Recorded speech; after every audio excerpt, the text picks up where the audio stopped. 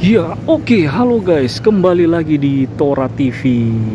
Oke guys, teman-teman, kali ini saya ada di tengah-tengah apartemen ini nih. apartemen apa pencakar langit ini ya, guys. Nah, jadi ternyata eh, di tengah-tengah apartemen ini ada rumah reot ya. Rumah ini yang yang eh, saya tidak tahu deh apa uh, nggak mau dijual atau bagaimana saya juga kurang tahu apanya ya. Memang ini di tengah-tengah nih lihat nih tuh di tengah gedung ya. Ini luar biasa banget.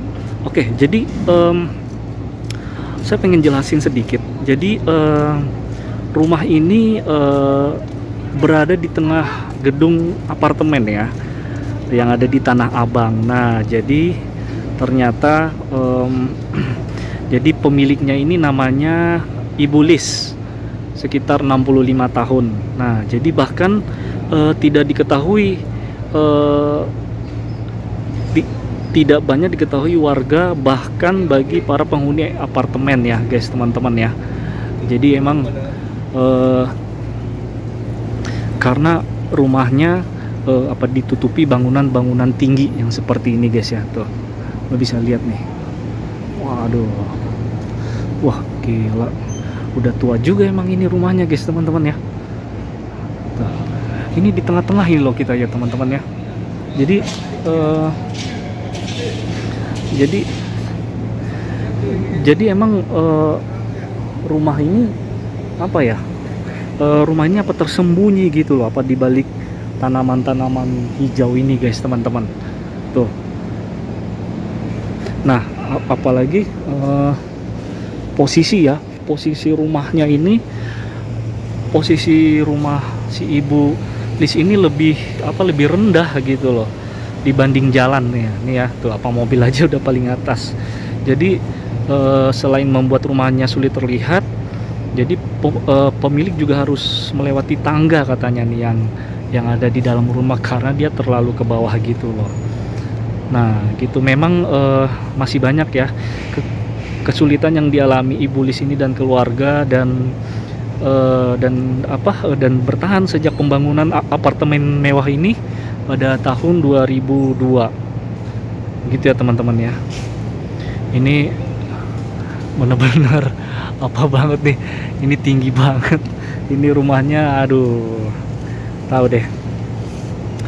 Ini banget gitu loh. Memang juga katanya uh, si ibu Lis ini kesulitan air bersih gitu loh ya. Jadi katanya sih airnya ini apa disedot sama apartemen gitu ya. Nah, kita kurang tahu juga ya teman-teman ya nah. Ini guys kalau bisa lihat ya guys ya emang pendek banget ini loh. Tuh. Ini pendek banget ini. Parah ya. Katanya sih juga jadi bulis ini pakai air bersihnya ini pakai aqua galon gitu loh. Ya aqua galon ini katanya nih. E, mau nyuci mau mandi gitu. Nah tapi nanti kita cek aja teman-temannya ini bagaimana sih ibu Lis ini. Karena saya juga baru ke sini nih gitu ya. Jadi ini rumah ini nyempil ini. Nyempil dari apartemen-apartemen yang mewah ini nih guys teman-temannya dari semenjak 2002 ini. Aduh ini banget ya miris banget ya teman-teman ya. Miris banget.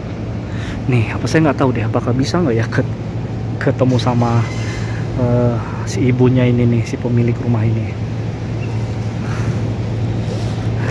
Coba ya guys teman-teman ya. Nah kalau bisa kita lihat nih. Nih. Oh dia pakai tangga bener oh ini nih nih, nih. tuh. Nih tangganya di sini nih. Wah sampai ke bawah teman-teman. Halo ibu. Ibu.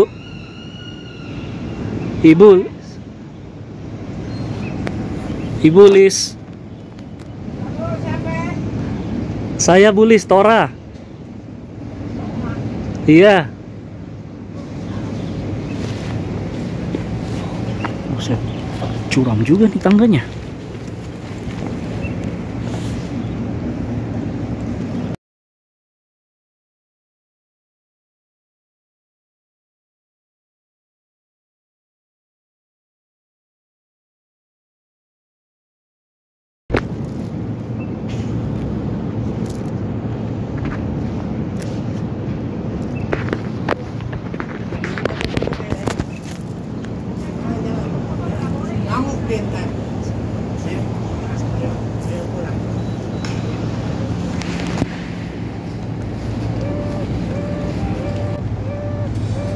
Nah, jadi guys, ternyata waduh. eh pemiliknya ini wah kayaknya mungkin eh, apa ya?